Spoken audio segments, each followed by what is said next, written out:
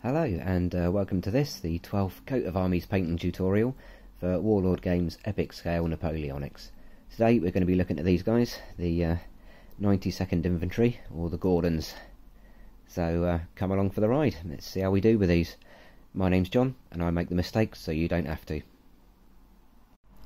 So, as per usual I've gone with the uh, cheap black primer, white scar uh, from Games Workshop as the uh, dry brush white over the top and Vallejo's flat red for the jackets. I must admit, I'm really not a fan of the stuff, but I've gone with uh, Games Workshop's Contrast Dark Angel Green paint for the kilt space. Games Workshop's Kislev Flesh, and don't forget, because of the kilts, you've got a bit more skin to work with on these ones. A couple of hands down the back, and uh, legs as well. Games Workshop Mournfang Brown for the muskets. And uh, Vallejo's brown leather for the uh, brown cross strap there for the uh, water canteen. And on the back there's that little strap down on the bottom left of the jacket there. Vallejo's London Grey for the great coat rolls. Don't forget you can see a little bit from the front, so get those covered, even a little dab in between the rifle and neck here and there. Doesn't hurt. Games Workshop Abaddon Black on the front here for the uh, bayonets. The uh, Busby slash bonnet hat. The buckles on the front of the uh, cross belts. The boots and round the back there is a little bit of scabbard showing if you want to do that. Uh, the bullet boxes, backpacks that come with these interesting little round things. Um, I haven't done any research, so I don't know the technical term, but I'm going to call them porridge hogs. So just so that uh, Highland troops can uh, make porridge properly, unlike the English. And it'll be made in the traditional way, using only sulfuric acid and granite. None of this salt and honey and milk rubbish, that's just soft. Games Workshop Kantor Blue for the uh, water canteens there. And here I've used Vallejo's buff for the bread bags and uh, couple of hairs there. I've used uh, Games Workshop's Leadbelcher silver on the gun barrels and the buttons. And purely on the grounds I've never used it before, so I thought I'd give it a go, and a bit of variety. I've used uh, Vallejo's oily steel on the bayonets and on the porridge hogs.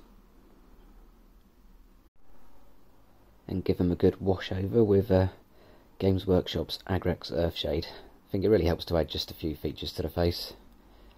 Of course it sinks into all those nooks and crannies. Brilliant stuff, love it.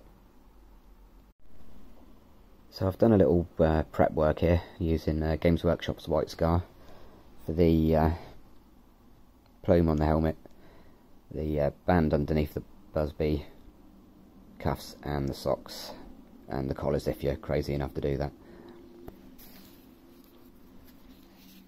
And pretty much same on the back.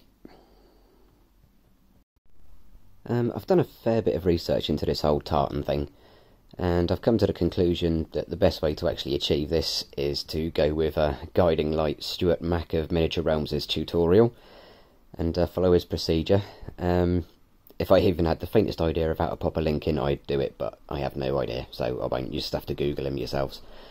Um, I didn't have the right kind of blue in my opinion, so I've done a mix of Games Workshop's Macragge and Lothern Blue. So for the uh, kilts of cuffs and collars, I've gone with uh, Games Workshop's Averland Sunset. So I've used Vallejo Off-White for the uh, jacket facings, cross belts, little marks on the cuffs, redone the plumes, and of course the uh, shoulder wings. And everybody's favourite, the backpack straps, and the straps across the uh, porridge hogs there. Well, that's been a fascinating test of sanity. Uh, gone with Games Workshop's Evil Sunz Scarlet for a few highlights on the jacket, the cross hatching on the uh, hats and uh, socks, and the uh, plumes for the uh, line centre centre companies. Jolly good fun. Wibble. And last but not least, Vallejo brass for the uh, cross belt buckles, and on the back, the wee chunky bit of brass on the uh, back of the muskets there. So for all intents and purposes, these are done. So thanks for uh, watching, and um, I hope you have as much fun painting these as I did. Good luck.